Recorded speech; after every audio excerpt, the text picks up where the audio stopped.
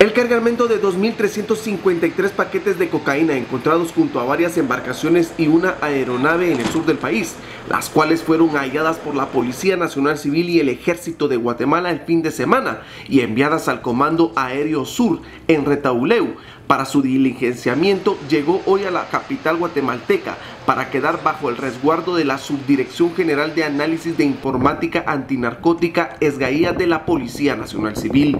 Según las autoridades, el traslado del estupefaciente a la ciudad de Guatemala se concretó en tres vuelos. La droga fue valorada en 253 millones 300 mil quetzales. El día sábado la denuncia ciudadana de pobladores de la aldea del Chico en Champerico Retauleu permitieron a nuestros agentes antinarcóticos poder ubicar una aeronave en una pista clandestina la cual estaba totalmente destruida y se encontraba incinerada. Posterior a esto se hace el rastreo correspondiente y nuestros agentes ubicar en horas de la noche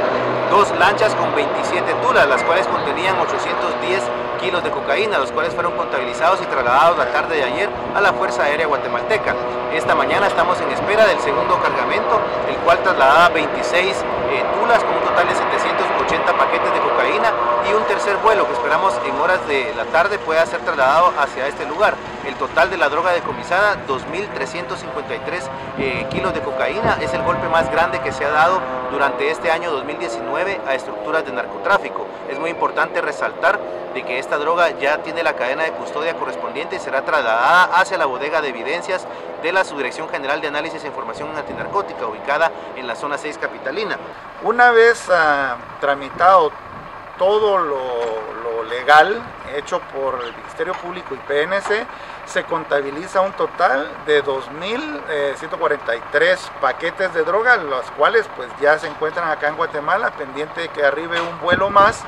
pero es una operación en el ámbito militar conjunto con la colaboración al final para el trámite legal correspondiente de la Policía Nacional Civil y el Ministerio Público.